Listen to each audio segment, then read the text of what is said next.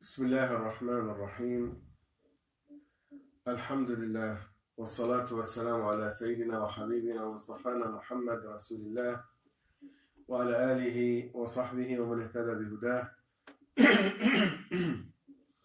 علمنا علمنا اللهم ما ينفعنا وانفعنا بما علمتنا وزدنا علما. اللهم آمين.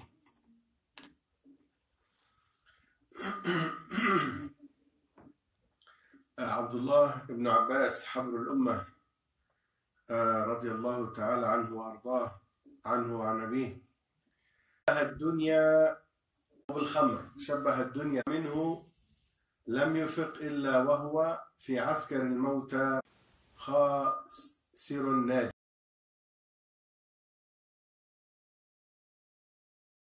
آه يعني الدنيا كانت الدنيا ولا الموازنة والتو في الدنيا.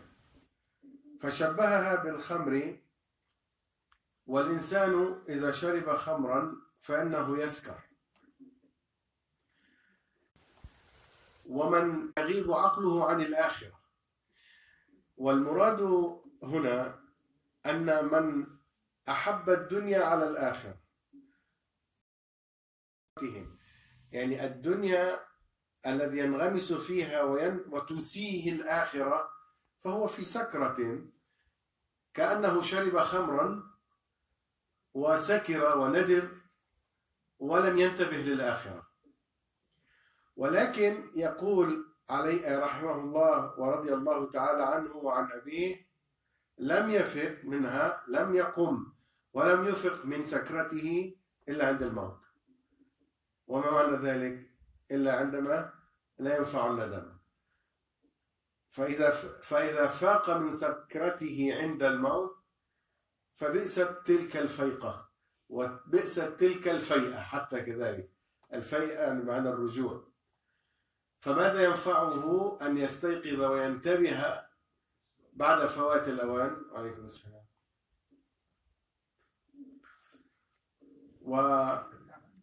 وورد عن عبد الله بن سلمان عن رجل من أصحاب النبي صلى الله عليه وسلم قال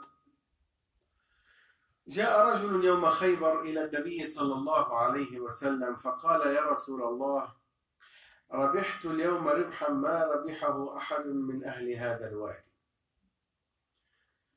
قام بصفقة تجارية وربحت تجارته ربحا عظيما. فقال له النبي صلى الله عليه وسلم وما ربحت؟ قال ما زلت أبيع وأبتاع يعني أبيع وأشتري حتى ربحت ثلاثمائة أوقية من الذهب. فقال صلى الله عليه وسلم أفلا أنبئك بخير ربح؟ فقال ما هو يا رسول الله؟ قال ركعتان بعد صلاة. ركعتان بعد صلاة والحديث رواه أبو داود. يعني تصلي ركعتين بعد الصلاة. يعني نحن نعرف صلاة الظهر فيها سنة بعدها وصلاة المغرب وصلاة العشاء. يعني أن تصلي ركعتين خاشعا لله سبحانه وتعالى خير من الدنيا وما فيها. يعني النوافل يا شيخ آه النوافل. وعن صهيب ابن سنان رضي الله تعالى عنه أن رسول الله صلى الله عليه وسلم قال عجبا لأمر المؤمن. وهذا حديث مشهور معروف يعني عند الناس. إن أمره كله له خير وليس ذلك لأحد إلا للمؤمن. إن أصابته سراء شكر فكان خيرا له وإن أصابته ضراء صبر فكان خيرا له. وهذا الحديث يعني ما نريد أن نتعمق فيه كثيرا لأنه معروف ومحفوظ ومشهور عند المسلمين. ولكن نقطة واحدة أريد أن نعلق عليها وليس ذلك لأحد إلا للمؤمن. هذه نقطة مهمة جدا. يعني آه ناس كتير لما. لما بيصيبهم خير بينبسطوا لما بيصيبهم شر بيزعلوا. أما المؤمن عند الخير يشكر وعند السراء يصبر. فليس ذلك لأحد لنؤمن هما أمران مش أمر واحد. ما هو ما هما الأمران؟ وهما واردان في نص نفس النص. الأمر الأول أن المؤمن يشكر عند النعمة ويصبر عند البلاء وغير المؤمن لا يفعل ذلك. الأمر الآخر ولعله الأهم the reward يعني الجزاء. وهو إيش؟ عجبا لأمر المؤمن إن أمره كله له خير. فالخيرية هذه هي الصفة والسمة للمؤمن دون غيره. فما هي الخيرية؟ من أين كيف يكون الخير؟ عند الشكر يأتيك الجزاء والحسنات وعند الصبر طبعا الشكر على عند السراء والصبر على البلاء يأتيك الأجر هذا معناه أن أمره كله له خير. هذا معنى الخير. مو فقط كلمة قضائية نتركها للقضاء والقضاء أنا بعرف وعندي يقين أن الله عز وجل لا يقدر قدرا إلا هو خير. هذه من العقائد والإيمانيات. ولكن الخيرية المراد بها هنا يوم القيامة. ماذا تجني يوم القيامة؟ وهي عملة يوم القيامة الحسنات والسيئات فإن أمرك كله له خير في السراء وفي الضراء. يعني عند النعمة وعند النقمة فشكرت النعمة فتأخذ أجرها يوم القيامة وصبرت على البلاء وعلى السراء أخذت أجرها يوم القيامة ويبقى السؤال هنا مش السؤال الفرق بين المؤمن وغير المؤمن يعني حتى غير المؤمن حتى لو شكر عند النعمة ممكن يشكر عند النعمة صح؟ هل له جزاء يوم القيامة؟ إذا كان كافرا بالله لا لو أصابته ضراء وأصابته فتنة مو فتنة يعني مصيبة أو مرض فصبر عليها. ربما نجد غير مسلم يصبر. هل له أجر هل له أجر ذلك الصبر يوم القيامة؟ لا. وقدمنا إلى ما عملوا من عمل فجعلناه هباء منثورا. يعملوا عمل. بل أؤكد لكم أن غير المسلمين خاصة النصارى وكذلك اليهود بس النصارى أكثر. يقومون من أعمال الخير ما لم يقم به المسلمون. على صعيد بناء المستشفيات على شق الطرق على دار الأيتام مأوى العجزة. آه، ال fundraising يا إخواني وأخواتي ال fundraising حتى أشطر منا بكثير ويدفعوا أكثر منا بكثير اللي هو التبرعات يعني. يقومون بأعمال خير يعني يعني كثير من المسلمين لا يفعلونه وهذا ما ذكره آه، عمرو بن العاص رضي الله تعالى عنه وأرضاه وهو في صحيح البخاري. آه، عندما أحد الصحابة عوف بن مالك الأشجعي رضي الله عنه هما صحابيان. يذكر أمام عمرو أن تقوم الساعة والروم أكثر الناس. تقوم الساعة والروم أكثر الناس. قال كيف قلت؟ يعني أعد علي ما قلت. قال قال رسول الله صلى الله عليه وسلم تقوم الساعة والروم أكثر الناس. قال أما وقد قلت هذا فإن فيهم خصالا أربع ولا يعد خصالهم ومن, ومن ضمن ما ذكر أنهم أعطفهم لمسكين ويتيم. ثم ذكر مسألة خامسة وقال هذه الخامسة عجبته كثير لعمر لأن عمر رجل سياسة رضي الله تعالى عنه. تعرفون رجل حكم ورجل سياسة رضي الله تعالى عنه وأرضاه. قال وأمنعهم من ظلم الملوك. وأنتم تجدوا خلال التاريخ كم من ملك وامبراطور بيقوموا عليه ثورة بيقتلوه بيحطوه بيحطوا واحد ثاني على طول. دائما ضد الظلم كانوا. وهذا ما ورد في في في الحديث يعني. اذا إن أمره كله له خير بهذا المعنى الذي سقناه. يعني بكلا الحالتين يأخذ الأجر. إن شكر على على السراء أخذ أجرها يوم القيامة وإن صبر على الضراء أخذ أجرها يوم القيامة. والنص يقول وليس ذلك لأحد إلا للمؤمن. فهي فهي على مسارين مسار قدري ومسار ومسار عملي. المسار القدري أن هذا قدر الله عز وجل أنه لم يعطي هذا البريفليج هذه الميزة لأي من لأي أحد غير المؤمن. هذا قدر الله. كما قال تعالى يعني وشيء شيء يذكر أو للمثال وبالمثال يتضح المقال الطيبات للطيبين والطيبون للطيبات. هذا كثير من المفسرين قالوا هذا قدرا. الله سبق قدره أن الطيبات الطيبون الطيبات والطيبات الطيبين آه، كما ورد في الآية. وقال بعض المفسرين الزانية لا ينكح إلا زان أو مشرك. قالوا كذلك هذا قدر الله أنه لا يقع إلا على كذا وكذا. فهذه فقط الشيء بشيء يذكر وليس هذاك موضوعنا. إذا على المسار على على الجانب القدري وليس ذلك لأحد منه قدر الله قدر ذلك أن هذا هذه الميزة لا تكون إلا للمؤمن. وعلى الجانب العملي كما شرحنا أن الإنسان لو عمل خيرا لو لو شكر على خير أصابه يؤجر عليه يوم القيامة. ولو صبر على مصيبة آه، يؤجر عليه يوم القيامة وهذا لا يكون إلا للمؤمن. سأعيد الآن الحديث بعد هذا الشرح ونزل الحديث على الشرح ستفهمونه أكثر إن شاء الله. عجبا لأمر المؤمن إن أمره كله له خير وليس ذلك لأحد إلا للمؤمن.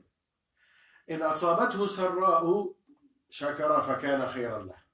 وإن أصابته ضراء صبر فكان خيرا له. وفي رواية أخرى كذلك تنتهي الرواية وليس ذلك لأحد إلا المؤمن من باب إيش هذا؟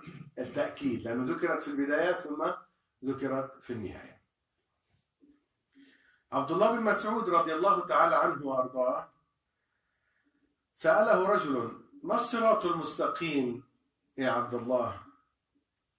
قال تركنا محمد صلى الله عليه وسلم في أدناه ما معنى أدناه يعني في بدايته.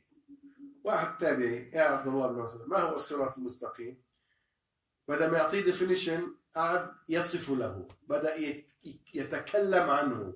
ما قال هو مثلا كتاب الله أو سنة رسول الله أو يعني definition ما أعطى definition بدأ يشرح عنه. قال تركنا رسول الله صلى الله عليه وسلم لما توفي الرسول صلى الله عليه وسلم يعني لو تمسك هذه امسك هذه. امسك. ومده شده. شده على الآخر يقول يعني يعني ما قاله عبد الله قال تركنا رسول الله صلى الله عليه وسلم في أدناه. هذا أوله. أدناه يعني أوله لما توفي النبي صلى الله عليه وسلم. والصراط والصراط هي تعاليم الشريعة كلها. فما اكتملت إلا عند وفاة النبي صلى الله عليه وسلم. اليوم أكملت لكم دينكم وأتممت عليكم نعمتي ورضيت لكم الإسلام دينا. في تشويش في الصوت؟ أوكي طيب. فعند وفاة النبي صلى الله عليه وسلم اكتمل تعاليم الصراط. قال تركنا محمد صلى الله عليه وسلم في أدناه. توفي النبي صلى الله عليه وسلم وتركنا في أدناه وطرفه في الجنة. طرف الصراط في الجنة. مبتدأه عند موت النبي صلى الله عليه وسلم. مبتدأه عندما انتهت الشريعة واكتملت الشريعة. وأين منتهى؟ أين يصل بك؟ إلى الجنة. وطرفه في الجنة. وعن يمينه جواد وعن, ينس وعن يساره جواد. ما هي الجواد أو الجواد؟ جمعه جزاك الله خير. ما في شاكلت عندنا هنا. وين الشاكلت مفتوح؟ خلاص يو اس 1 شاكلت جمع جادة. ويقولون جيدة. آه، أو الجدة. هذه الجادة هي الطريق. هي الطريق. يعني عن يمينه طرق. وهو هي جمع جمع جادة. وعن يساره طرق. وثم ما معنى ثم؟ كثير من الناس حتى في نشرات الأخبار حتى عند الزعماء بيقولوا بيقولوا ثم. بدل ثم بيقولوا ثم ولو من ثم. من حرف عطف وثم حرف عطف. فما بيجوا حرف جار فما بيجوا حرفين ورا بعضهم يعني. مش ومن ثم ومن ثم. ثم ما معنى هناك؟ مطاع ثم أمين. ما معنى ثم؟ هناك. Another chocolate. خلاص. المعجب شو اسمه؟ موجود. موجود الطاولة. مفتوح. مفتوح تراكتي مفتوح؟ عطلة أو على اليمين بالأردني كثير ثم يعني هناك. ومن ثم رجال يدعون من مر بهم. فمن أخذ في تلك الجواد انتهت به إلى النار ومن أخذ على الصراط المستقيم انتهى به إلى الجنة. ثم قرأ ابن مسعود قول الله تعالى وأن هذا صراطي مستقيما فاتبعوه ولا تتبعوا السبل فتفرق بكم عن سبيله. وحديث ابن مسعود رضي الله تعالى عنه وكلامه مأخوذ من حديث النبي صلى الله عليه وسلم والنبي عليه الصلاة والسلام يعني أول من استعمل طرق التدريس ووسائل التعليم. أعطي زوجتك هي اللي النبي عليه الصلاة والسلام في هذا الحديث كان جالسا مع الصحابة. وأرض المدينة كما تعلمون رمل. وأخذ عودا عود ورسم خطا مستقيما. تتخيلوا النبي صلى الله عليه وسلم بيرسم خط مستقيم بتزكزك إيده أو بتعوج أنا متخيلها أحسن من المسطرة. رسول صلى الله عليه وسلم. رسم خطا مستقيما. طويلا. ثم عن يمينه رسم خطوط أخرى وعن يساره رسم خطوط أخرى. وقال هذا صراط الله. تشبيه. هذا صراط الله وهذه السبل. وقرأ النبي صلى الله عليه وسلم الآية نفسها التي في سورة الأعراف وأن هذا صراطي مستقيما فاتبعوه ولا تتبعوا السبل فتفرق بكم عن سبيله. ولكن الحديث هذا ذكر أن الطرق الأخرى وقد ورد في الحديث على رأس كل الطريق منادي. ينادي. He's calling upon people. Invite them. يدعوهم. يعني الاشتراكية الشيوعية الرأسمالية الليبرالية العد ما شئتم. زائد الفرق التي ظهرت في الإسلام الفرق الضالة أقصد التي ظهرت في الإسلام. كل واحد له بوق له يعني ميكروفون وينادي. ينادي الناس invite يعني يدعو الآخرين إلى الولوج في هذا الطريق المبتدع المبتدع المبتكر. ليس طريق الإسلام ولا طريق الله ولا صراط الله ولا هدي النبي صلى الله عليه وسلم. فمن أجابهم قذفوه في النار. كل واحد يقبل هذه الدعوة هذا الطريق. يعني يؤدي إلى النار. والطريق وحيد وفقط واحد. طريق واحد فقط يوصل بك إلى الجنة. هو صراط الله سبحانه وتعالى. الذي تقرأ كل يوم ولا تصح صلاة نفل ولا فرض ولا منفرد ولا إمام ولا مأموم. عدا كلمة مأموم لأن بعض المذاهب كالحنفية يتساهلون فيها ولكن أقول ما أعتقده وأدين الله به. لا إمام ولا مأمون لا تصح الصلاة بدونها. سورة الفاتحة. ماذا تقولون؟ اهدنا الصراط المستقيم. كل يوم لو صليت الفرائض دون النوافل كم ركعة بنصلي في اليوم؟ عدوا معي. الفجر اثنين الظهر أربعة يصاروا ستة. الله يرحم ستك و... والعصر أربعة ده صاروا عشرة. شيل عن وجهك الكشرة. والمغرب ثلاثة ده صاروا 13 والعشاء أربعة ده صاروا سبعة عشر. سبعة عشر. يعني سبعة عشر مرة ال minimum ال minimum بتقولوا اهدنا الصراط المستقيم. فيما وجب. وإذا صليتم النوافل التي هي 12 ركعة الرواتب يلا أهل الرياضيات. ديش 29 وإذا صليت الوتر ركعة واحدة يبقى 30 وممكن يكونوا 32 لو صليتوهم ثلاث ركعات.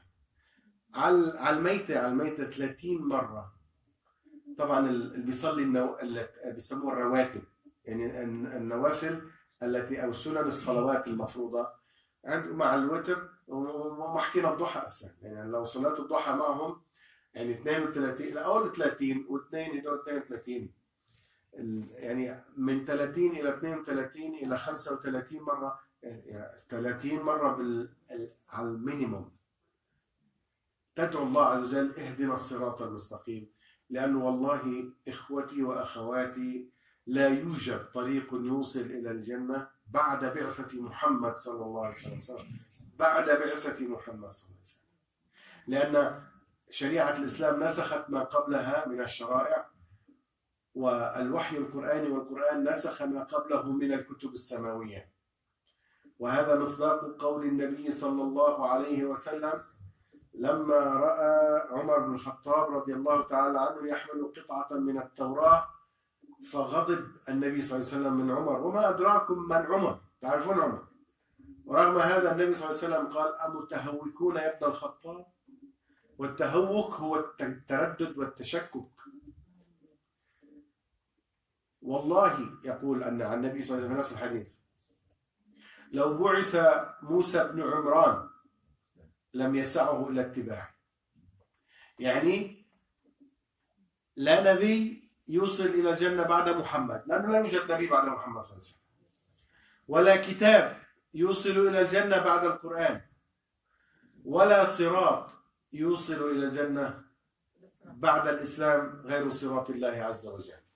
فهذا أمر يعني ورضيت لكم الإسلام دينا. هذا من المسائل من المسلمات.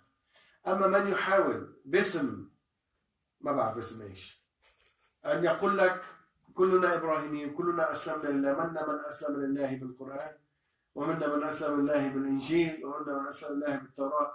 نعم في زمن عيسى عليه السلام. نعم في زمن موسى عليه السلام والأنبياء قبلهم. أما بعد محمد صلى الله عليه وسلم فالله لا يقبل إسلام أحد إلا بالقرآن. إلا بالقرآن. ولا يقبل كتابا سماويا ولو لم يكن محرفا إلا بالقرآن. ولا ما معنى قول النبي صلى الله عليه وسلم وعيسى موسى؟ وموسى ليس فقط نبي عادي ورسول عادي من أولي العزم من الرسل. سيبعث بكتاب اللي هو التوراة. يعني لو بعث الله موسى حيتبع موسى ما عند اليهود اليوم من كتاب محرف لا سيبعثه بتوراته الأصلية ولا يقبل الله منه. توراته الأصلية لا يقبلها منه. الأصلية ليست المحرفة عبر آلاف السنين. والذي جاء به اللسان أو الكتابة أو العبرية التي جاء أو اللسان لا أقول العبرية قد تكون شيء ثاني الذي جاء بها موسى ما في شك تختلف عن العبرية التي يتكلمها اليهود اليوم. كلامهم هم ليس كلامي أنا. إذا شكسبير الإنجليزي اللي 230 سنة بيترجموا له إنجليزيته القديمة للإنجليزية الجديدة. هذا ما له 200 300 سنة. فكيف عم تحكوا آلاف السنين موسى؟ آلاف سنين 3000 سنة. كيف يعني تكون لغته هي نفس اللغة الآن؟ موجودة.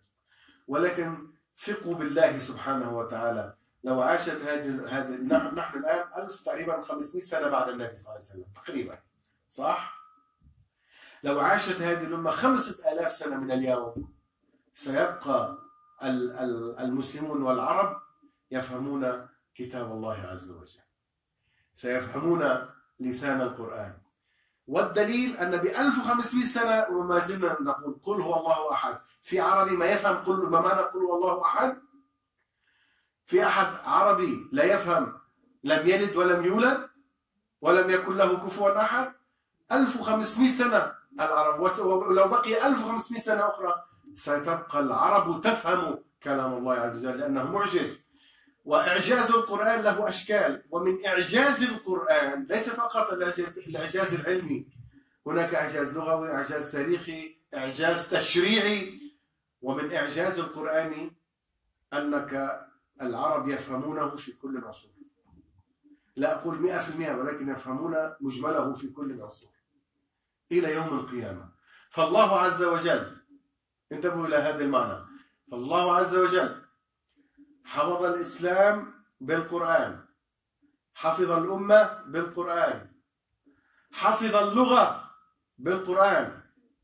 وحفظ الدين والتشريع بالقرآن. والتشريع بالقرآن. هنا أريد أن أقول مسألة خارجة قليلا عن موضوعنا. في ال weekend الماضي كنت في مؤتمر لأمجا مؤتمر المجمع الفقهي. وأنا أعيد وأسجل ملاحظتي التي سجلتها هنا.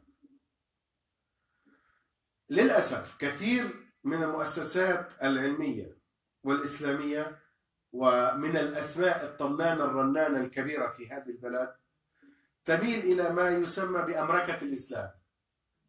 أمركة الإسلام. كله بيمشي. كله ماشي. كله. فعبر التاريخ وكثير من المسائل يقول هذه المسألة فيها قولان وفيها أقوال. متى يكون القولان والثلاثة أقوال والأكثر والأقل معتبر؟ إذا كان للقول دليل معتبر. إذا كان للقول دليل معتبر والله عز وجل يقول سبحانه وتعالى آه، فاسألوا أهل الذكر إن كنتم لا تعلمون. كل الناس توقف هون ما بتكمل. ما هي تكملة الآية؟ بالبينات والزبر. فاسألوا أهل الذكر يعني أهل العلم إن كنتم لا تعلمون. الذي لا يعلم مسألة يسأل. ولكن أهل العلم يقول أنا بقول. Who are you to say أنا أنا بقول؟ من أنت تقول أنا بقول؟ ما في أنا أقول أنا أقول والدليل واحد اثنين ثلاثة. لابد أهل الذكر وأهل العلم أن يقولوا بدليل وإن لم يقولوا في دليل فهم ليسوا من أهل الذكر. قولا واحدا. معادلة واضحة جدا. إن لم يذكر الشخص حتى أعترف أنه عالم وأنه من أهل الذكر إن لم يذكر الدليل فليس من أهل الذكر. أما أن تأتوني بأقوال وجدت في بطون الكتب خلال مئات السنين. ولم تشتهر ولم يعتمدها أحد ولم يتبناها أحد. فلا تقل لي في المسألة قولان أعطيكم مثال واقع حدث في المؤتمر. يسألون لأنه كان مؤتمر عنوانه فقه الأقليات. يعني مسلمين عايشين في الغرب النيو مسلم المسلمون الجدد. ونحن نعيش في بلد ليس إسلامي. طبعا لا لا ينكر أن في حيثيات معينة في بعض الفقه لا أقول الثوابت إنما في بعض جوانب الفقهية تتغير. في مع المسلم الجديد تتغير مع مسلم عايش في بلد ليس إسلامي. هذا أمر لا ينكر في بالمبدأ. ولكن سئل سؤال أو من ضمن الأمور المطروحة هل يصح للمرأة أن تأم الرجال؟ يعني أنتم إيش أول ردة فعل؟ أنتم بتقولوا مش لا وأمر مستنكر يعني. وأمر مستنكر. أحد الشيوخ الذي نحبه وهو من وهو من أهل العلم قال في المسألة قولان. وات؟ في المسألة قولان. طيب ما هو القول الثاني؟ قال ورد قول للإمام أحمد. اسمعوا مين؟ بيقول لك بيقول لك حنبلية. ما هيك؟ اسمها حنبلية. يعني متشدد. الإمام أحمد مشهور بالتشدد. فعند قال في قول للإمام أحمد أن تأم ولكن من الخلف. يعني أنتم الأخوات في هذا الصف من وراء تقف آخر صف وبتأم الرجال هم أمامها. أنا ما أدري ما بحط بذمتي الإمام أحمد على على فرض أنه قالها. على فرض أنه قالها. فهو غير موجود في المذهب ولا معتبر في ولا معتبر في المذهب. أنا أريد أن أصل معكم إلى قضية جد مهمة جدا. عبر التاريخ حتى من لدن التابعين إلى يومنا هذا. لابد أن تظهر ولو من علماء كبار بعض الفتاوى الشاذة تسمى. الحركة الإيجابية للزمان الذي سخر الله عز وجل بها العلماء في كل عصر وفي كل مصر تغربل تغربل الأقوال الشاذة. فلا تعتبر فلا تعتمد ولا تعتبر. فضلا عن أن تعتمد يعني. وترمى جانبا وتلقى في الأدراج. ما لا تلقى في الأدراج حتى يأتيني شخص في آخر الزمان يفتح الدرج يقول في قولان. هذه غربلت انتهت ستجد والإمام مالك رحمه الله له قولان جميلان في هذه المسألة. يقول رحمه الله إياك وشذوذ الفتيا. ما تأتيني بفتوى شاذة. لا تتفق مع عموم العلماء والأمة. ثم يقول رحمه الله في في, في قول ثاني وكان يدرس أين؟ في المدينة. يقول لكل جواد كبوة ولكل عالم هفوة وكل يؤخذ من قوله ويرد. يعني ما حد معصوم إلا صاحب هذا القبر وهو رسول الله صلى الله عليه وسلم. مهما على شأنه على بمعنى الإمام أحمد لا أحد يدري كم يحبه لأنه الإمام أحمد يعني تجد يعني كأنها تجب محبته في الله سبحانه وتعالى. لأنه لأن الله عز وجل حفظ القرآن والدين به عندما يعني الدولة في زمن المأمون قالت أن القرآن مخلوق ووقف في هذا التيار. حب الإمام أحمد يعني من الدين. ولكن لو ثبت هذا أنه هو قول فهذا تغربل ووضع في الأدراج وانتهى. جيت تقول لي أنت لأنك تعيش في أمريكا تقول في المسألة قولان ما هذا فالذي فالله عز وجل بحفظ القرآن انتبهوا هذه النقطة حساسة بحفظ القرآن حفظ لنا فقهنا. حفظ لنا فقهنا بغربلة كل ما هو بعيد عن روح القرآن فإنه يطرد ويلفظ. وما هو يتمشى مع روح القرآن ومعاني القرآن فهو الذي يبقى ولا هو الذي تتبناه من؟ الأمة وعلماؤها عبر الأجيال. فهذا من حفظ الله عز وجل الأمة فبحفظ مرة ثانية بحفظ القرآن حفظ الله هذه الأمة. وحفظ الله علينا ديننا. وحفظ الله علينا لغتنا. وحفظ الله علينا فقهنا. بهذا المعنى. والله تعالى أجل وأعلم.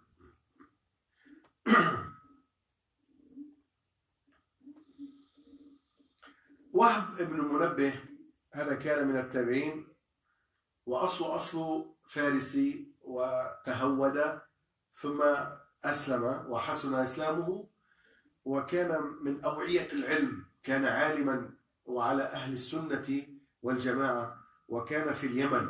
وهب ابن منبه كان في اليمن. قيل له يا إمام أليس لا إله إلا الله مفتاح الجنة؟ يعني واحد يقول لا إله إلا الله خلاص. ما في داعي يصلي ولا يصوم ومؤمن فيها ولا ما في إله غير الله. مؤمن بكل شيء. أليس لا إله إلا الله مفتاح الجنة؟ قال بلى. ولكن ليس مفتاح إلا وله أسنان. فإذا جئت بمفتاح له أسنان فتح لك إلى الجنة وإلا لم يفتح لك. لو لو مو بس يعني شو يسموه يعني أنا أزيد عليها فأقول ليس فقط أن يكون له أسنان.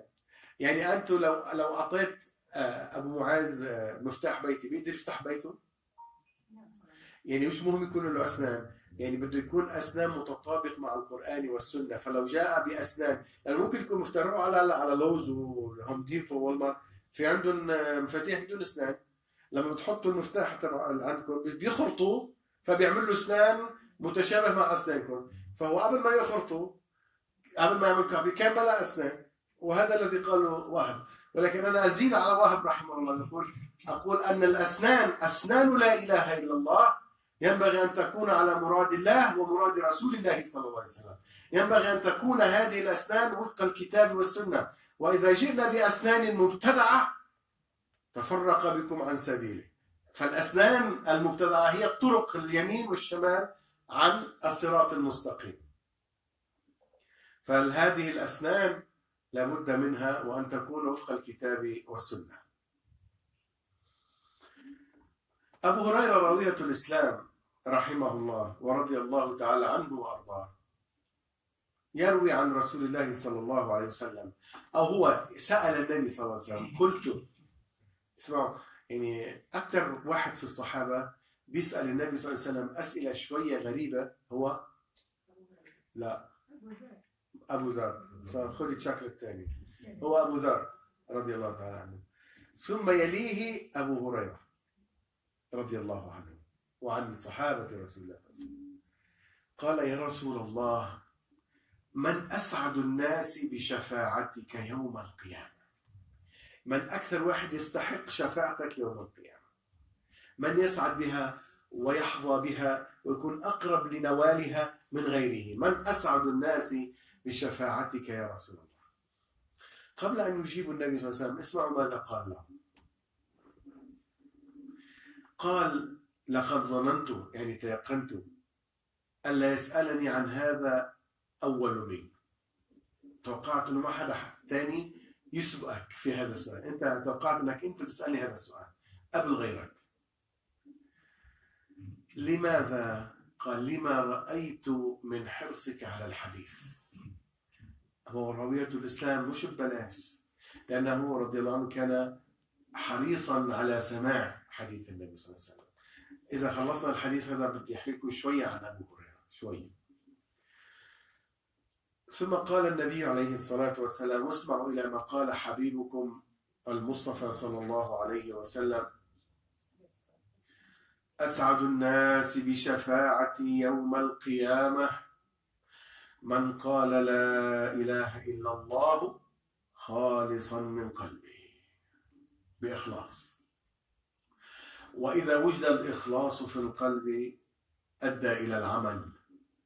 فعدم العمل دليل على عدم الإخلاص والعمل دليل على الإخلاص. لذلك انظروا إلى آيات الله. ما أقول كلهم ولكن المعظم بلا شك معظم الآيات التي تتحدث عن الإيمان تتحدث عن العمل. إلا من تاب وآمن وعمل عملا صالحا. الذين آمنوا وعملوا الصالحات. لا تكاد تجد كلمة آمنوا إلا وتجد بعدها على طول عمل فالعمل دليل الإيمان. والإيمان الصادق يؤدي إلى العمل.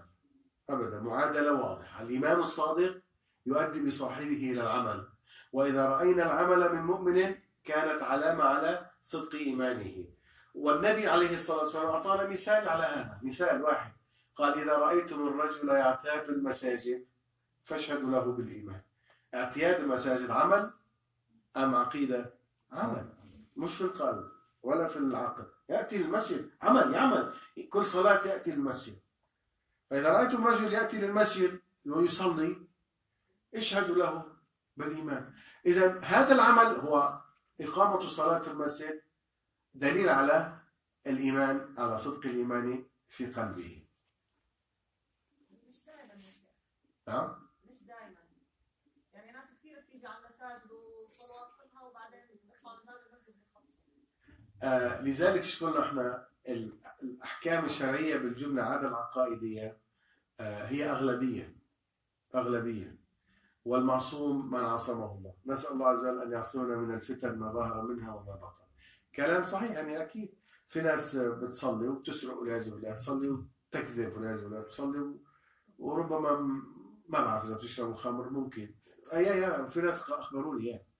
في ناس أخبروني بيشربوا الخمر. وليش تسوي هيك؟ قال إلا الصلاح إلا الصلاح. يعني يعني اللي ما اللي بيتركها يكفر. أما شرب الخمر فهذا إثم وفسق هذه ربنا ربما يعفو عنه. أما ترك الصلاة كفر عنه.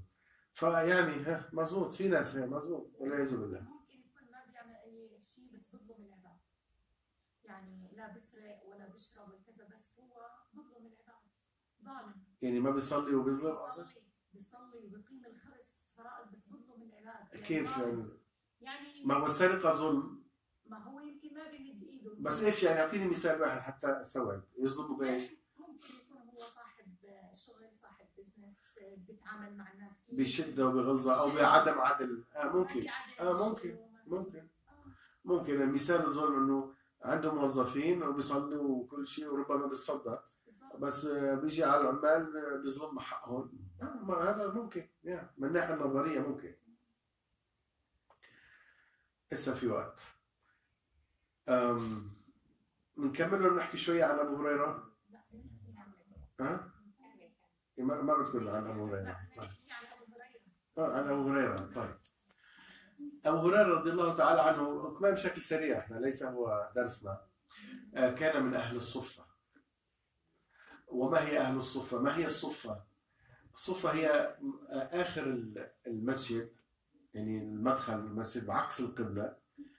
آه، كان النبي صلى الله عليه وسلم دائما يعني يجيله فقراء هوملس ما عندهم آه، بيوت. آه، وليسوا من أهل المدينة. وليس عندهم مال حتى يتجروا أو يستأجروا أو. فكان آه، أغنياء الصحابة يتصدقون عليهم بالطعام. آه، واللباس. وكانوا ينامون في في آخر المسجد. وقيل الصفة مثل يعني سدة مثل آه، تخشيبة هيك يعني مثل ميزانين بيناموا عليها. وعددهم ما كان ثابت لأن النبي صلى الله عليه وسلم كان يحرص على على أن يغتنموا ويذهبوا وبدل أن أن يأخذوا يعطوا. فأحيانا عدد كبير أحيانا قليل. وغالبا يعني النبي صلى الله عليه وسلم كان يحرص انه إنه يجاه إنه يطلع ناس كثير منهم آه، للعمل يعني.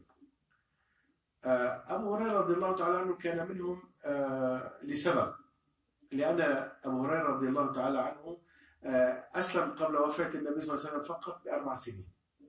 ما أدري إذا بتعرفوا هذا. عاصر النبي صلى الله عليه وسلم فقط أربع سنين. بس أربع سنين وروى أكثر روايات هو اللي يروى قد تقولون طيب ليش مشهور أبو هريرة بس أربع سنين؟ سبحان الله هذه ميزة. ما هي الميزة اللي فيها؟ أن أبو تعرفون أن الإسلام آه، آه، شرائع الإسلام جاءت بالتدرج ما جاءت دفعة واحدة في تدرج التشريعي. والأمثلة واضحة. ليس فقط الخمر الخمر أوضح شيء وفي القرآن نزل فيه ثلاث آيات بالتدرج. كذلك الصلاة جاءت في التدريج. كيف؟ في العهد المكي كانوا يصلوا ركعتين في الصباح وركعتين في المساء. إلى الإسراء والمعراج فرضت الصلوات الخمس يعني قبل الهجرة بسنة. حتى في بداية الهجرة كان إذا واحد عم يصلي وعطس بيقول الحمد لله. إذا واحد حد بيقول له يرحمك الله بيرد عليه بيقول له يهدينا ويهديكم الله. يهدينا ويصلح بالكم.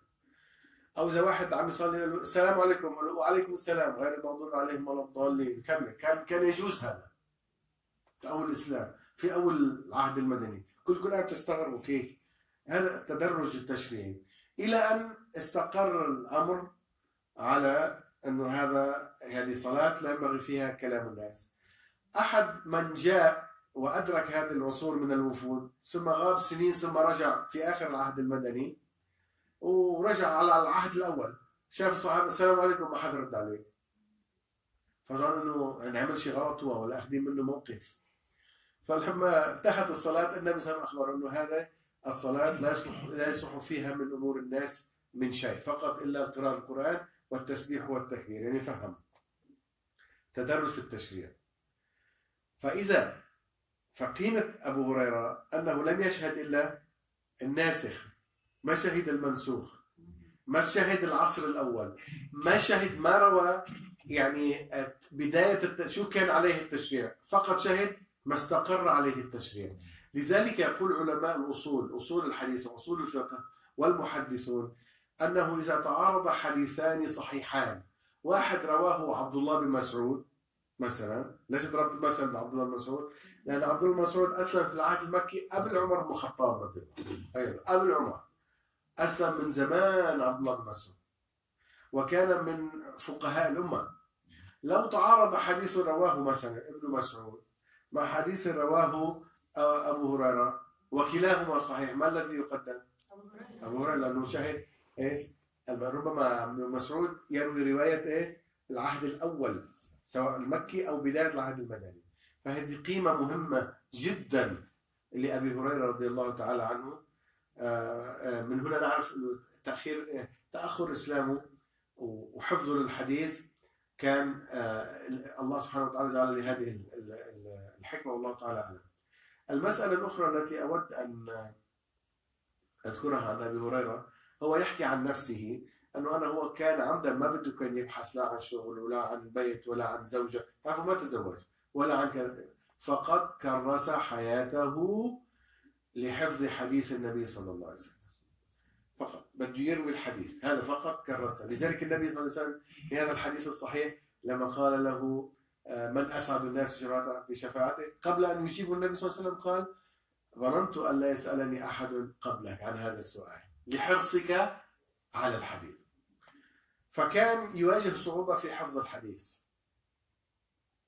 فجاء اشتكى للنبي صلى الله عليه وسلم. أبو هريرة. قال يا رسول الله يعني أنا حريص وحابب أحفظ بس عم يتفلت مني عندي صعوبة في الحفظ ما في هون أي جارمنت قطعه عندكم قطعه قماش زايدة آه. أي وحدة أي شيء على السريع يعني يعني يجيبوا لأنه حتى نفهم بالضبط إيش سوى النبي صلى الله عليه وسلم اللي سأل الرسول صلى الله عليه وسلم أبو ذر ولا أبو هريرة من أسعد الناس؟ أبو هريرة إحنا عن أبو ذر ما عم نحكي ما في شيء عن أبو ذر. لا فقط أنا تطرقت إلى أبو ذر من باب ال...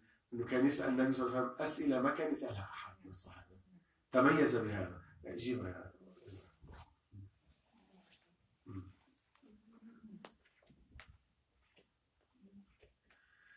فابو هريرة اشتكى للنبي اشتكى للنبي صلى الله عليه وسلم. وخليك واقف قال يا رسول الله يعني الحديث يتفلت مني فكأن أبو هريرة عنده قطعة قماش خمسة انت فأبسطها يا أبا هريرة فبسطها أبو هريرة وقال ضعها عند فيك عند فمك. فقرأ النبي صلى الله عليه وسلم ما نعرف ما أبو هريرة ما سمع. ثم نفخ. دخلت ما قرأه في النفخة هذه إلى فم أبي هريرة. قال ومن يومها لم ينسى حديثا قط. ما نسي حديثا قط. إذا معجزة للنبي صلى الله عليه وسلم. بعد أن اشتكى من من تفلت الحديث ومن الحفظ وهو حريص فدعا النبي صلى الله عليه وسلم. بدعاء ثم نفخ فقال استقر الحديث فلم أنس حديثا قط. رضي الله تعالى عنه وأرضاه. ما بتتمنوا تكونوا عايشين في زمن النبي صلى الله عليه وسلم؟ ولو دفعتم مش نص ما تملكون كل ما تملكون. صلى عليك الله يا علم الهدى.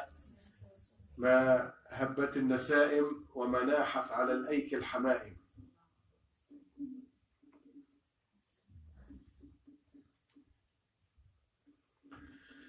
في رواية ذكرت عن علي رضي الله تعالى عنه وأنا أستبعد صحتها ولكن نذكرها لل... للعبرة فقط.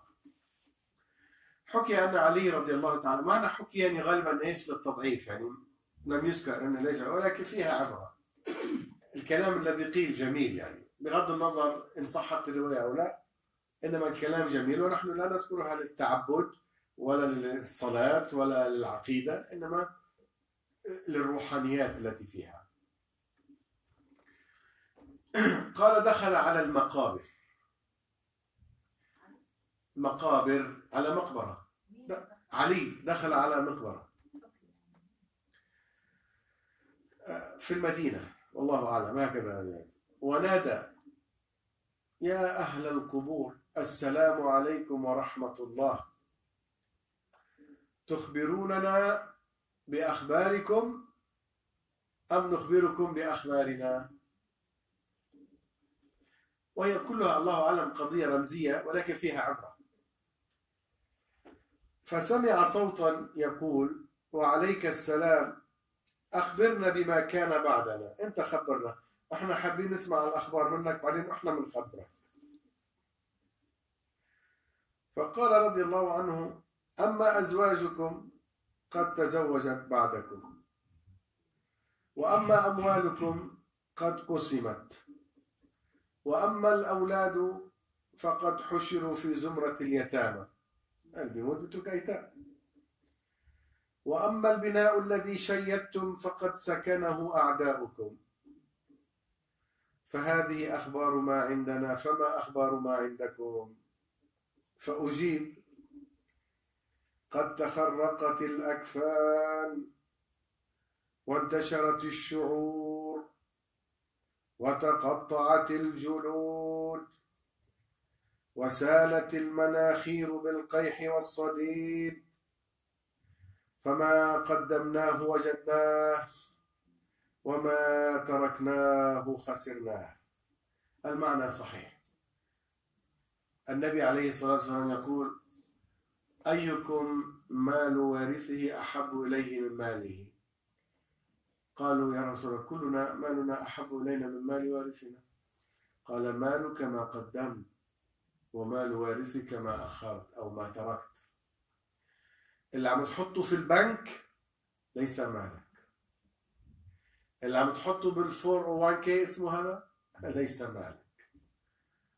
اللي إيش في اسمه؟ اللي حطه بالبورصة بسموه البورصة الأسهم ليس مالك تقول طب ما أولاد مال ابني والإسلام شرع لي اني اترك لابني؟ وهذا صحيح.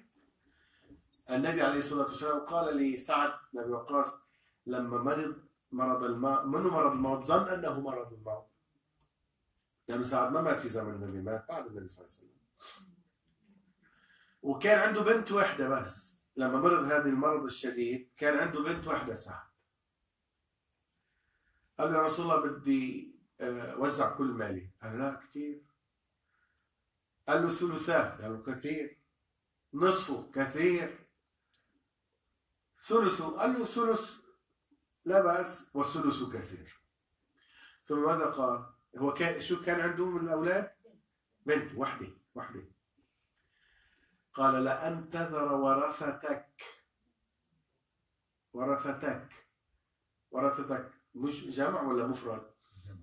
جمع. وعنده بنت واحدة قال لأن تذر ورثتك أغنياء خير لك من أن تدعهم عالة يتكففون الناس. سبحان الله بعدها عاش وجاله أولاد. فببركة إيش؟ أو كأن النبي يخبره بنبوة. نبوة. ما قال له انتظر بنتك أو وارثتك ورثتك بالجملة. فجاء بعدها الحمد لله طاب وصح وجاله أولاد بعدين. ف- ف- فالموضوع يا صحيح أن الذي نجمعه لأبنائنا هذا صحيح وهذا مشروع. طب ماذا فعلت لك لنفسك؟ أنت هذا لأولادك والله لا تدري ماذا سيفعل ولدك بهذا المال لا تدري. الذي أنت تركته له. بس أنت ماذا فعلت؟ أنت. هل تظن أن ابنك خصوصا نحن العايشين في أمريكا والله حتى العايشين في بلادنا بهالأيام كله بالهوى سوا. سيبني لك مسجد حيعمل لك وقف حيسوي كذا كذا. ربما بس قديش نسبته هدول صفر صفر صفر صفر. الله أعلم بالمية كم هدول مالك الذي قدمت. مالك الذي دفعته في سبيل الله. الذي تصدقت به أنت. يعني موازنة يعني معادلة. وما هي صعبة؟ تعمل لنفسك وتترك لأبنائك.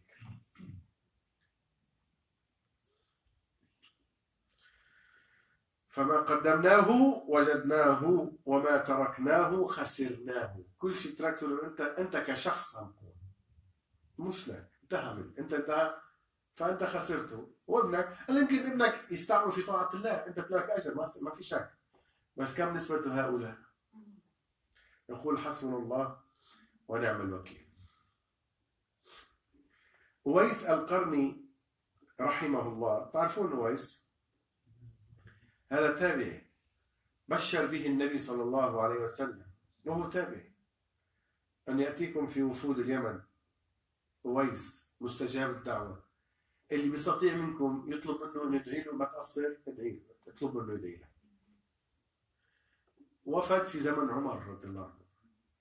وصار يسأل عنه وينه وينه وينه بعدين لحتى حضر التقى فيه. عمر بن الخطاب يترجى أويس اللي ما حدا بيعرفه. ادعي لي. ادعي لي. ولماذا؟ لأن النبي صلى الله عليه وسلم طلب منه. طلب اللي يستطيع منكم هل يدعو. شو سبب استجابة الدعاء؟ قولوا لي مين بيعرف؟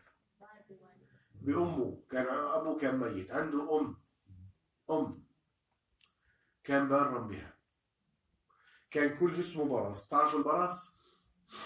ال- البياض الذي يغير لون الجلد البهاق راح منه كله إلا موطن موضع درهم سبب استجابة الدعاء أنه كان برا بوالدته.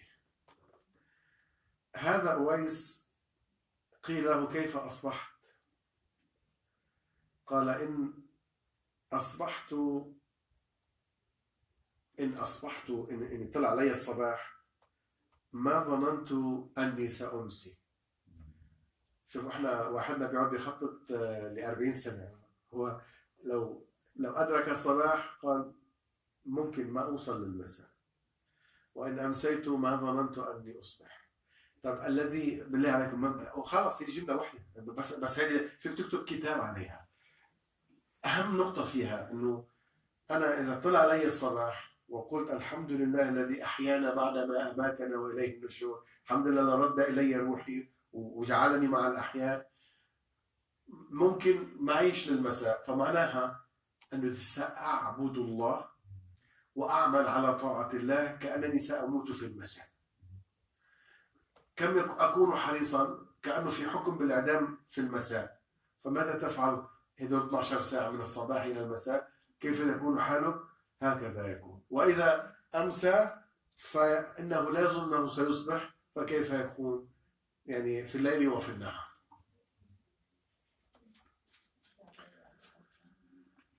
آه، داود عليه السلام قال لابنه سليمان عليه السلام يستدل على تقوى المؤمن بثلاث. ثلاث ثلاثة أمور يستدل بها على تقوى المؤمن. الأولى حسن التوكل فيما لم ينل. حسن التوكل فيما لم ينل. وحسن الرضا فيما نال وحسن الصبر فيما فات. إيش عن هذا الكلام. ال- هذه الأمور يعني ال- القدر تقريبا مع الناس لا يخلو من ثلاثة أمور. إما أن يأتيك ما ما تريد. إما أن يأتيك ما تريد. فينبغي أن ترضى بما جاءك. لا تقول ليش ما جاني أكثر؟ لا ترضى وارضى بما قسم لك ربك تكن أغنى الناس. هكذا يقول صلى الله عليه وسلم. يعني الرضا بما قسم لك يعني بما نلته طيب شيء فاتك أمر وكنت متوقع وكنت حابه أن يكون فات ما نلته. ينبغي أن تصبر على هذا الأمر لأنه شيء سهل. في ناس تندم الصرت تحط إيديها وأصابعها إنه كيف فاتتني هذه ومدلها حسن الصبر على ما فات وحسن الرضا فيما نال طيب واللي ما جاء السنة شيء فات اصبر على ألم ال- الفوات. شيء حصلته بتقول ليش مش أكثر لا أرضى به. هلأ إذا في شيء بده يجي ومتحرك بده يجي خلي عندك حسن التوكل. على الله عز وجل من أجل أن يأتيك. توكل على الله عز وجل. إذا حسن التوكل أو هن بالأحرى نبدأ من من حسن الرضا فيما نال فيما نال المؤمن وحسن الصبر فيما فات وحسن التوكل فيما لم ينل أو لم ينل.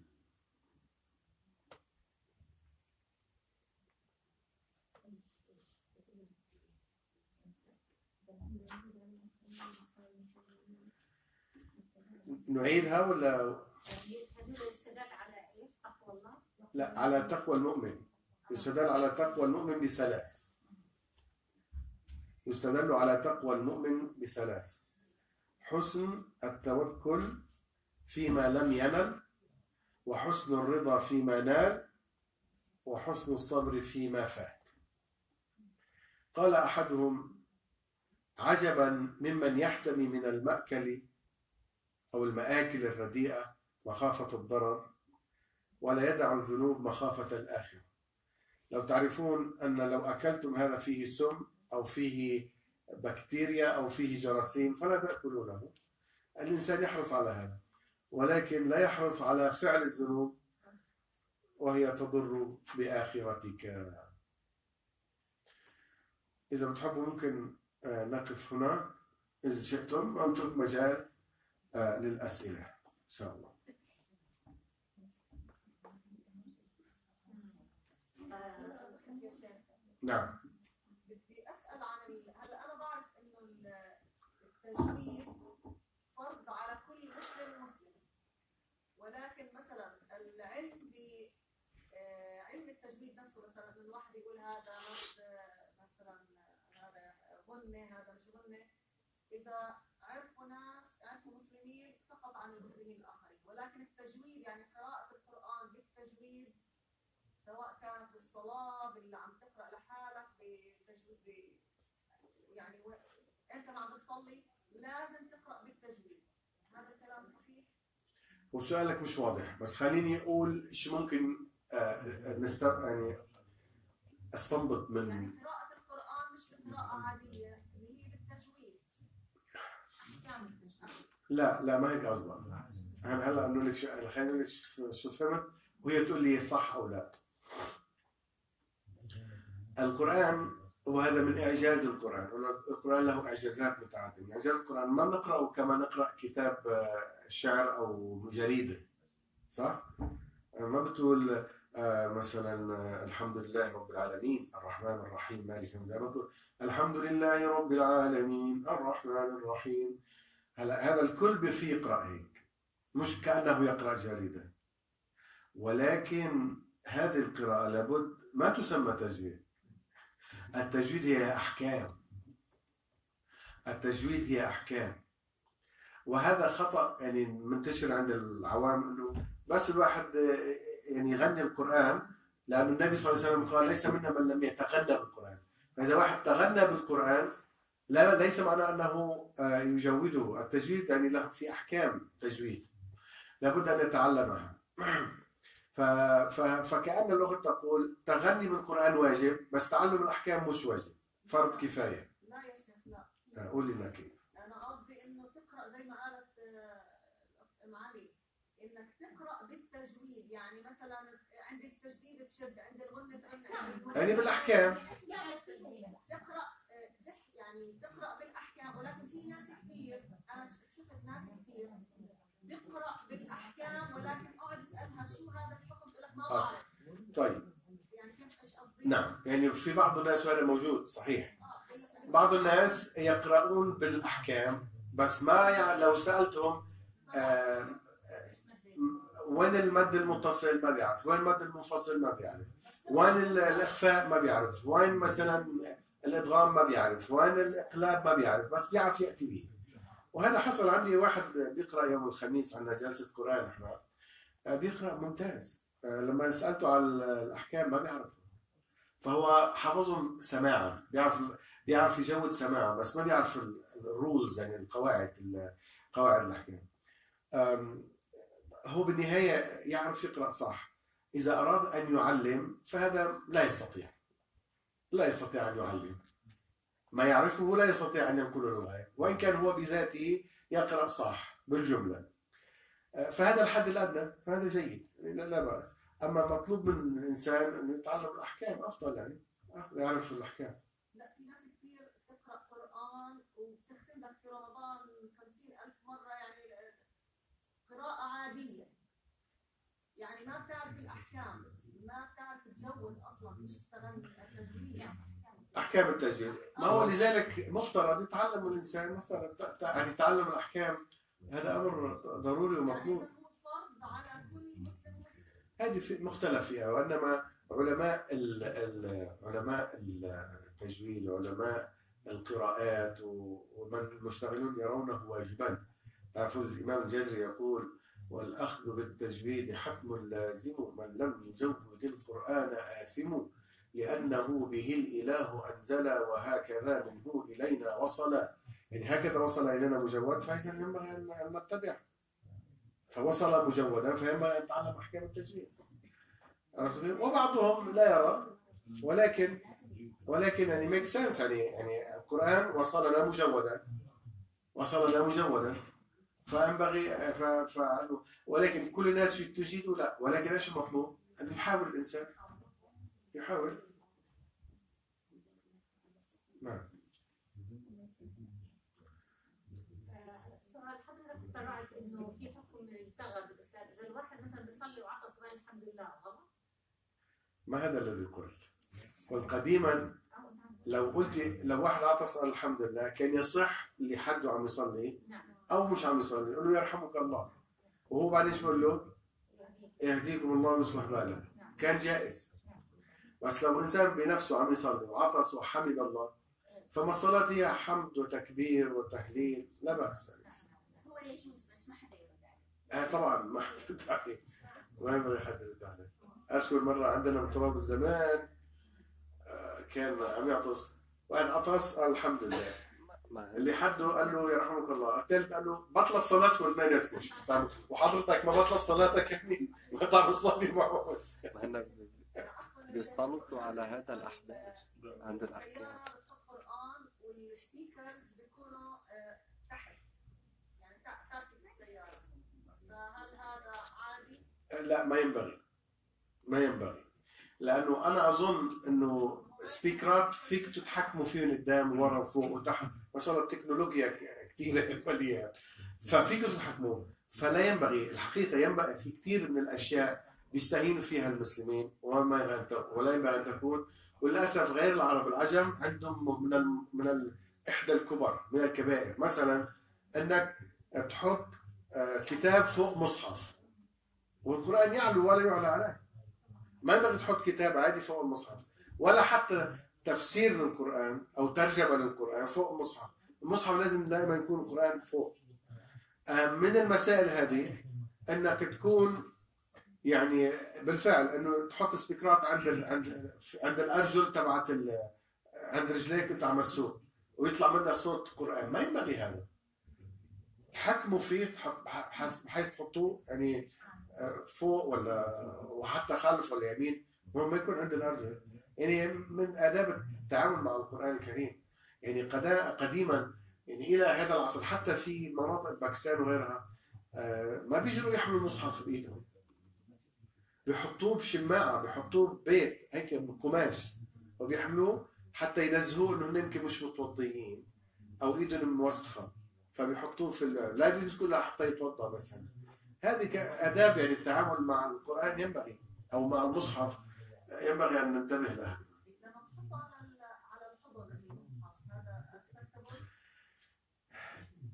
تحطه على الحضن يقرأ فيه يعني؟ لا بأس بس أنا بفضل تحطوا مخدة على الحضن وتحطوه فوق الحضن وهذا أحسن لكم ولظهركم. عشان ما تضلكم طوبين هيك وناخين الرقبه تتعب فبتعلى المخدة وبتكونوا رفعتوا من قدر القرآن والمصحف. أفضل. شيخنا وإنت بتصلي مثلا أو تصلي طبعا. بتيجي آيات مثلا عن أسأل الله من فضله.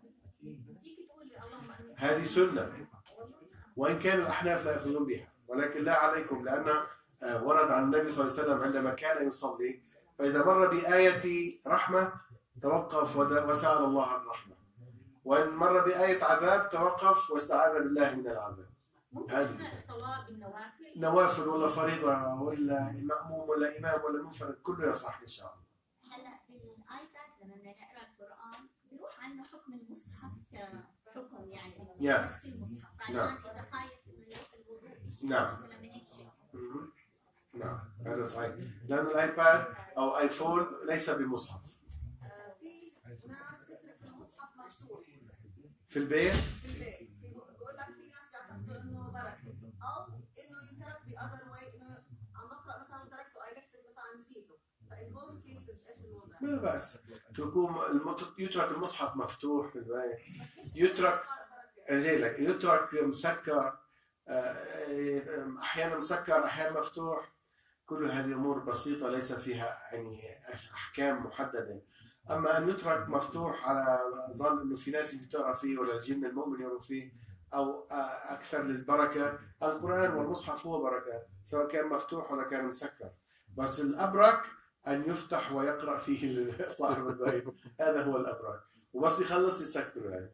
ولو تركه مفتوح لا بأس إن شاء الله. هلا هل في اثم على الواحد لما يكون إنه في كذا مصحف بالبيت؟ أنت ما عم تقرأ من تقرأ من مصحف واحد أو من آيباد على إنه لا تترك القرآن مهجور. هل في اثم؟ والله شوفوا يعني ال ال المصحف أو القرآن في البيت لا ينبغي أن نتركه يعني عادة في بعض الناس يعني حتى مرة ودوا شو بيسموه يوتيوب هل ودوا لك على الواتساب بيعتبر. آه، إحدى المغنيات المشهورات اللبنانيات ما بعرف أي واحدة منهم بس مسلمة كيف عرفت أنا مسلمة؟ آه، سالوها أنت إيش؟ قالت له أنا دائما المصحف آه، في في جزداني طب شو عم يعمل في جزدانك يعني وانت سافرة وما بعرف إيش وإيش وإيش. بس أقول لكم شيء. هي ولا غيرها؟ إذا عندها هذا المصحف اعتقادا وتعظيما بإذن الله ينفع. إحنا الآن لا ندخل الجنة ولا ندخل النار مش شغلتنا بس أمر عجيب. فهذا ذك... سؤالك ذكرني بهذا ال... ال... الواتساب اللي ودوه. آه الإنسان يكون عنده مصاحف في البيت ما ما تفتح شو, شو قيمتها؟ هي بتصير حجة عليك لا حجة لك. ودائما بال- بالدعاء بقول اللهم اجعل القرآن كلمات حجة لنا لا علينا. بس انت بتفتح بتقرا قرآن يومي أو هي بس مو من هاي المصاحف. ما بتقرأي ولا من المصحف؟ أنا كنت بس صرت مثلا من الآيباد بعمل الورد اليومي. والله أنا بفضل القرآن. أنا بفضل القرآن. أو مصحف معين يعني- مثلا رمضان استلم مصحف يعني ما بيستلم. ايباد استعملوه مثلا. أعطيكم تجربة شخصية. إذا مثلا رايح برا آه، كنت واقف صف طويل ليجي دورك آه، يعني ب- عند الدكتور أحيانا بي- بينقعونا ساعة ونص ليجي دورنا مثلا لأنه عرب ومسلمين بيستخفوا فينا كثير وهذه موجودة يعني. آه، استعملوا ال iPhone ال iPad وأشياء مثل هذه خصوصا ال iPhone ال iPad تاخذوه هيك بعيد برا صار أما بالبيت لا يستطيع لا ينبغي ولا أقول لا يجوز. الأولى ألا يستعاض عن القرآن مصحف. هذا المصحف اللي الان متوفر عندنا كان قديم من أصعب ما يكون أن يعمل الحصول عليه. فالآن يعني نقدره يعني. والله اعلم آه، ما في بأس لا أنا ما عم بتكلم عن النقطه أنا كان إنه يستعاض عن القراءة بالمصحف بالجملة بالآيباد. أما إذا عندنا عشر مصاحف وأنا إلي مصحف أنا إلي مصحف إلي بقرأ فيه. ما في مشكلة. لا لا ما في أي مشكلة. آه لا في مشكلة. أما كل آه، كل ختمة بختمها بمصحف شكل you don't need ولو فعلتم جميل بس ما تحتاج يعني طب ما هو هيك يعتبر حاجة لهذا المصحف اللي ما كان عم يفتح شوفوا كم عندنا قرآن؟ واحد كم عندنا مصحف؟ ملايين بلايين مصاحف. فلو قرأتوا في مصحف واحد فلستم هاجرين القرآن. وال- والشكوى كانت مش من المصحف هجران المصحف هجران القرآن وقال الرسول يا ربي إن هذا إن قوم اتخذوا هذا القرآن مش المصحف مهجورا. فالقرآن حتى لو قرأتم من الآيباد وليس تقرأون فأنتم لستم هاجرين القرآن. عشان تعرفوا إنه إذا قرأتم iPad ما قرأتم مصحف فلستم هاجرين القرآن. بس إحنا قلنا الأليق أن نقرأ من المصحف. أما أن نقول آه، يعني لازم أقرأ كل ختمة بمصحف لا ما don't need لا أبدا. خصوصا بعض المصاحف بيكون خط صغير. بعض المصاحف مثلا آه، يعني مكتوبة بالخط الباكستاني عرفتوا كيف بيكتبوا صعب بتقروا فيه. وعندكم إياه في البيت لا يعني أنكم هجرتموه. أبدا. في ناس مثلا بعطوك هديه لمناسبه أو شيء المصحف اللي هلا قدم طب هذا أنا أنا رأيي الشخصي. المصاحف الصغيرة ال mini mini mini مصحف. هذا والله تعالى أعلم يعني عدم وجوده هو الأفضل. هلا عندي هذا. شو أعمل فيهم ما أنا بال... يعني مو بس هيك صعب تحافظوا عليهم. أنا مرة لقيت واحد منهم ما بعرف مرمي مثل وين ما حد منتبه له. هذه هذه بالمناسبة الله تعالى أعلم من عمل الشياطين شياطين الإنس. ليش؟ لأن شياطين الإنس اللي بيتعاطوا مع ما تخافوا عم نحكي هلا آه، معلومة عامة. اللي بيتعاطوا مع شياطين الجن الجن يش... الجن يشترطون على الإنس اللي بيتصلوا فيهم أن يفعلوا أن يقوموا بفعل شركي حتى يتعاملوا معه ومن أهم الأعمال الشركية اللي بيطلبوا منهم إما أن يبولوا على المصحف أو يضعوه في الحمام التواليت أو يضعوا عليه النجاسة أو يضعوه في دم يعني شغلات هذه المصاحف الصغيرة تمام يعني دواء لهم لأن المصحف الكبير صعب يحطوه بالحمام وفلاش على على راسك فهذا بيحطوا أربعة خمسة نص واحد. فهذا هذا الأمر بي- بيساعد فعل الشياطين وال- والسحرة والعياذ بالله. فهذا ما أدرك من اخترع هذا الاختراع. من اخترع هذا الاختراع؟ إذا كان نيته سيئة عليه من الله ما يستحق. وإذا نيته طيبة الله الله يسامحه صح؟ بس لو قصقصناه بس المشكلة برضه حيطلع الكلمات ما هي ما هو أنت إذا بدك تخلصي منه أفضل شيء احرقيه إذا أنت بدك تخلصي منه بس أنا ما عم لك هيك. بس إذا بدك تخلصي منه الحرق كيف تحرقوا؟ روحوا على الباك يارد الحديقة. حفروا حفرة في الأرض. وحطوا شوية مثل بنزين ولا من بيولع يعني بس ما يحترق وجهكم واحرقوا بحيث بس يصير رماد اطمروه بس يكون في زاوية ال ما مش عم يدل يوم ما حدا بده يحفر يطلع مرة ثانية بيكون زاوية. لا هو ما فيش ورق يعني ما فيش إنه زاوية لزاويه انت لو اكلت راح بالحشيش. حشيش يعني قصدي يعني على رماد. الأفضل مو رماد يكون بحفره وتغرب لأنه هذا رماد وقرآن رماد كلام رب العالمين. حتى لو رماد. حفره بالارض حفره صغيره بيحترق بس يصير رماد اطمروها وكان الله بالسر عليما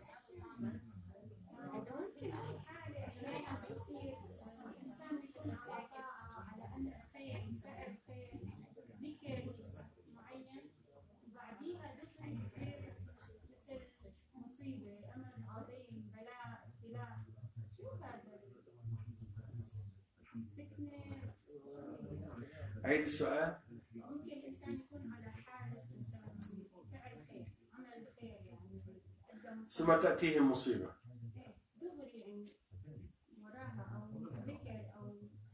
ما هو المؤمن مبتلى؟ لازم نفهم. المؤمن مبتلى. ولا يتوقع المؤمن إنه آه، بده يمن على الله عز وجل بعبادته أو بطاعته أو بصدقته أو بعمل الخير أو بالورد تبعه. بالعكس الله عز وجل وصفهم آه، أنهم مشفقون. إيش يعني مشفقون؟ يعني ما بنعرف وجلون. ما نعرف هل الله قبل ولا ما قبل. أما من صام مثلا وقال آه وأنا أنا كنت امبارح صايم ويمن على الناس وعلى عباد الله وعلى إنه أنا بصلي الفجر وأنا بجي خمس صلاه وأنا بصوم اثنين وخميس وأنا كل يوم بقرأ نص القران ما هذا؟ يعني هذا رقم واحد، رقم اثنين أنه لو كان يفعلها ب- بصدق ثم جاءته ابتلاء جاءه ابتلاء فالمؤمن مبتلى. مبتلى. آه الأمر الثالث وعلى جانب من الأهمية إنه بعض الناس خصوصا بالتبرعات ادفع الدولار بيجي لك 10 وادفع 10 بيجي لك 100 وادفع وإذا ما جاء بيقول لك يا شيخ شو هالدين تبعكم؟ هذا غلط هذا ما ينبغي أن يقال. أكثر شيء ممكن تقول الحسنة بعشر أمثالها. اجرا عند الله عز وجل يوم القيامة. مش إذا دفعت 100 دولار بيجي لك ال1000 بكرة وبعد سنة. ما تشترط. كيف تشترط على الله هذا لذلك هذا خطأ من ال من ال اللي بيعملوا fundraising هذا غلط بيحطوا عقيدة غلط في عقل ال- ال- الناس. فالإنسان إذا عمل خير وهذا ورد وجاته فوقها مصيبة. ممكن هذا تبرع ورجع بعدها خسرت تجارته وخسر كل شيء. يا شيخ وين أنا مثلا بيمسكوا من الشيخ برقبته وبيستاهل هذا الشيخ يمسك برقبته ما تعطيها المعلومات الغلط. قول الله بيعوض. يس بس ليش تضمن له أنا والله جاء واحد هون وبيحلف الله وأنا جارنتيو الله بده يعوضك عشرة. يمكن يروح هذا المسكين يتبرع بقلب الله يخسر كل يجي واحد من من الثريفت بيسموه ده بيسرقوا ثريفت من هيك ثريفت سيف Peace. Peace. ثيف سرق له كل المحل. مثلا. فما ينبغي هذا. الإسلام دين واقعي. دين واقعي. والله يجزي. نعم. فاسرقوها لله. مش لعبد الله ولا للشيخ يحدد. ف... فإذا كان مؤمن فهذا دليل إيمان. فعليه أن يصبر. ما هو المؤمن صبور. شيخنا شيخنا اذا عنده مساجد إذا عندي مصاحف مم. بيقبلوا يتحطوا هنا ولا لازم تطلعوا عليهم قديم إيش يعني نطلع عليهم؟ يعني ما عندك آه، ثقة إنه مصاحف صحيحة؟ لا مصاحف عندي بس. جيبوا يا جيبوا بنطلع عليهم ونحط لا يعني ممكن احطهم لا إذا عندك شك جيبي له قبل ما نطلع آه طب حطيهم لازم تحطوا عليهم وقف ولا أي حدا ما ضروري ما ضروري. وممكن أنت أفضل شيء إيش؟ تجيبين الأوفيس. آه في ناس كثير بتسأل على المصاحف إذا حدا قرأ فيها ببيته بالحاج أجر. أحسن ما تدلها هون بالرفوف. سبحانك اللهم وبحمدك أشهد أن لا إله إلا أنت أستغفرك. السلام عليكم ورحمة الله خليك سجل اذان وطلعوا على الهواء مباشر لا على الهواء مباشر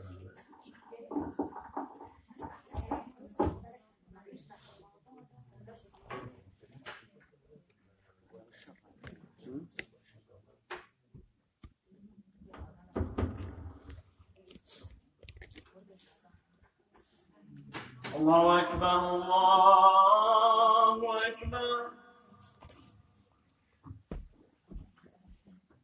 الله أكبر الله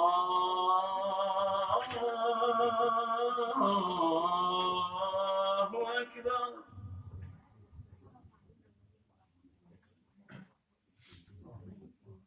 أشهد أن لا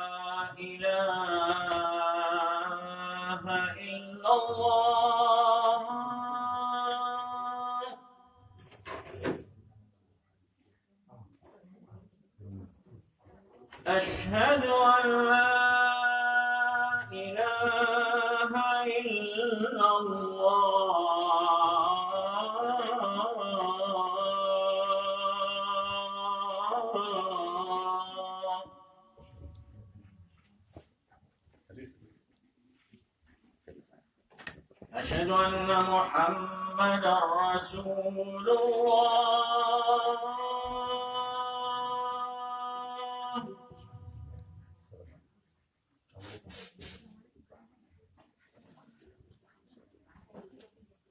أشهد أن محمدا رسول الله.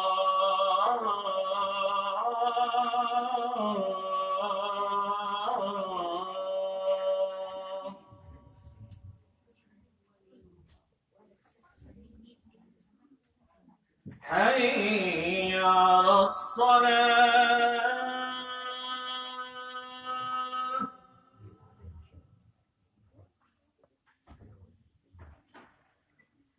حي على الصلاة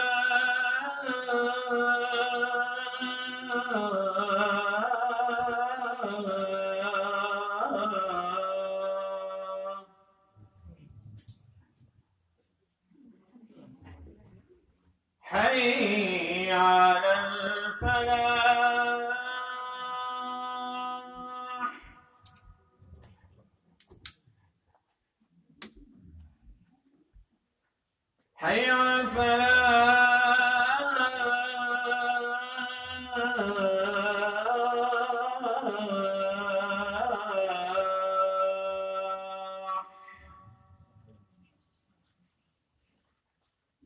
الله أكبر.